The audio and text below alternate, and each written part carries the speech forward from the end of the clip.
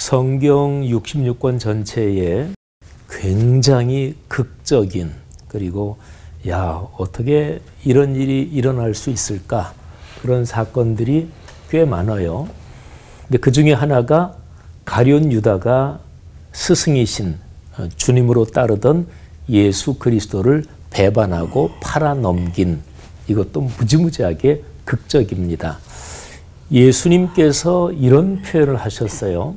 저는 예수님이 표현하신 그 표현 중에서 가장 어떻게 보면 심하고 무서운 말씀이다. 저는 그렇게 생각하는데 이 사람은 차라리 태어나지 않았으면 좋을 뻔했다. 예수님이 하신 말씀 중에서 가장 어, 세상을 사랑하셔서 자신을 주신 어, 구세주이신데 제일 아주 무서운 말씀이라고 저는 생각해요. 바로 그 주인공 가룟 유다. 요한복음 13장에 보면 최후의 만찬 식사하는 장면이 나옵니다. 근데 거기에 보면 가룟 유다가 마지막 기회, 그러니까 돌이킬 수 있는 마지막 기회가 13장 거기에서만도 몇 번 있었다. 저는 그렇게 말씀을 묵상했어요. 13장 2절, 21절, 그리고 27절, 그리고 이제 13장 30절에서는 드디어 기회가 끝나고 가룟유다가 액션을 합니다. 어, 13장 2절에 이렇게 기록이 되어 있습니다. 마귀가 어, 벌써 시몬의 아들 가룟유다의 마음에 예수를 팔려는 생각을 넣었더라.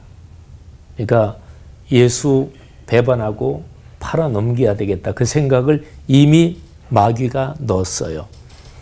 그런데 생각은 넣었어도 그 생각을 따르고 안 따르고 이거는 사람이 결단하는 거거든요. 어, 종교개혁자 마틴 루터가 아주 유명한 얘기를 했습니다. 새가 내 머리 위로 지나다니는 것은 막을 수 없다. 하지만 내 머리에 둥지를 짓는 것은 못하게 할 수 있다. 그러니까 생각은 떠오르게 할 수 있지만 그거를 따를 거냐 말 거냐 그거는 사람이 하나님이 주신 자유의지 또는 자기 자신의 인격적인 결단으로 자기가 할 수 있는 거지요. 근데 가룟 유다는 그거를 안 한 거지요.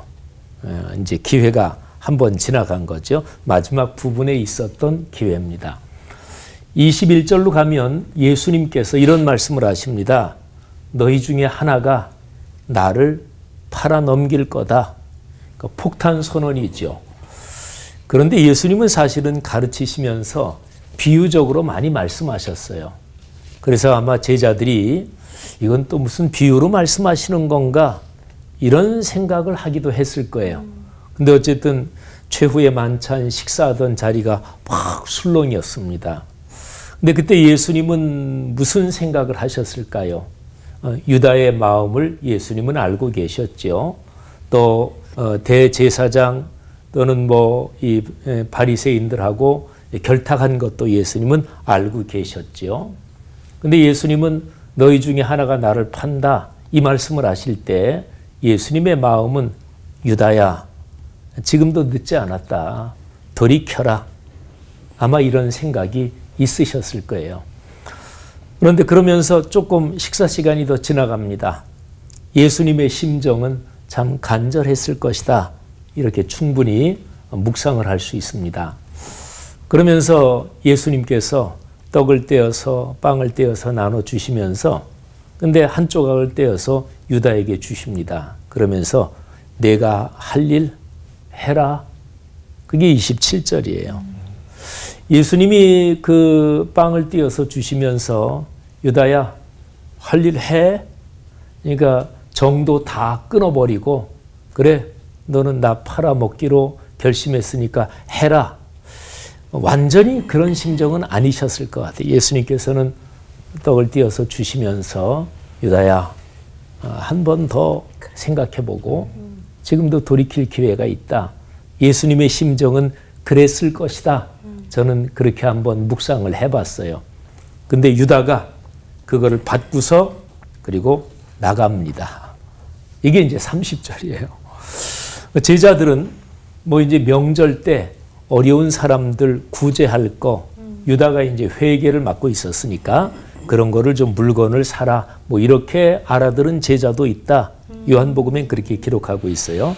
자, 그런데 13장 30절 한번 제가 읽어 드릴 테니까 들어보세요. 유다가 그 조각을 받고 곧 나가니 밤이러라.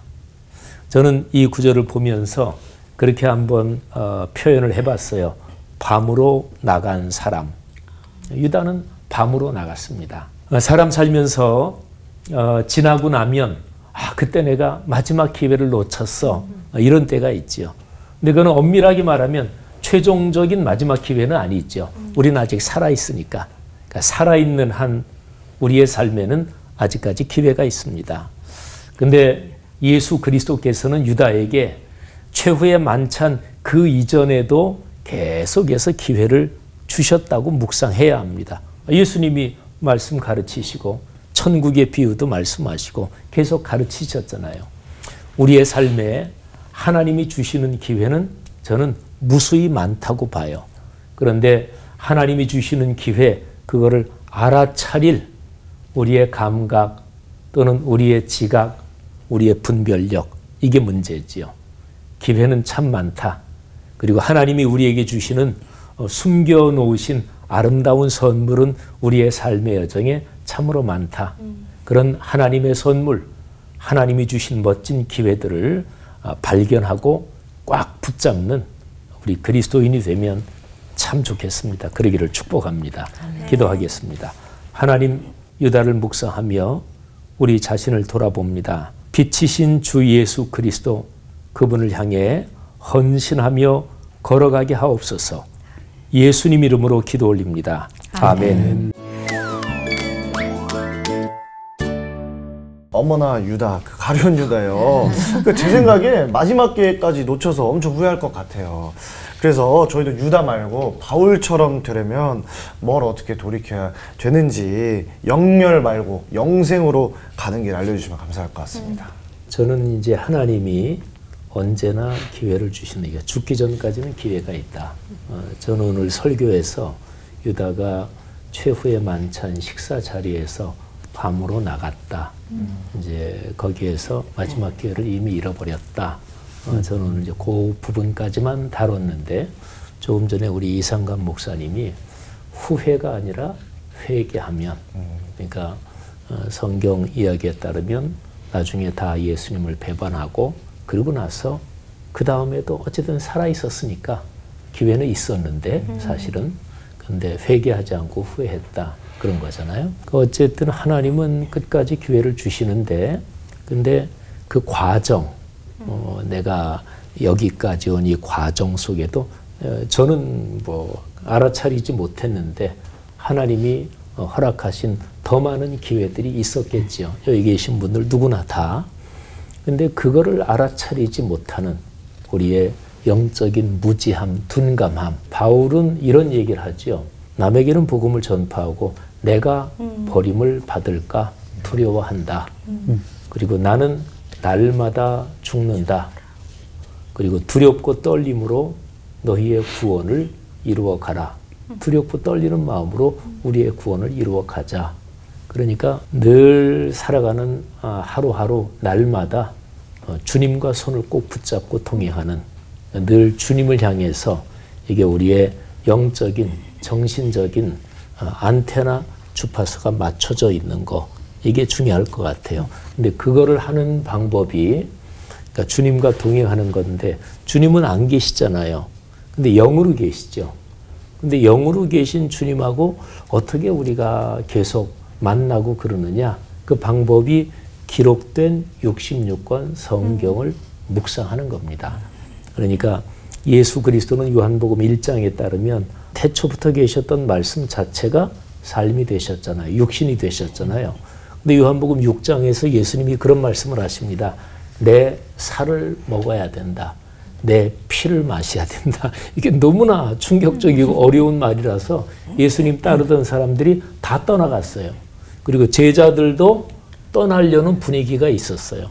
근데 이제 베드로가 아유 영생의 말씀이 여기 계신데 우리가 누구한테로 가겠습니까? 이렇게 겨우 어, 체면칠의 말을 한다 이렇게 해석하는 학자들도 있거든요.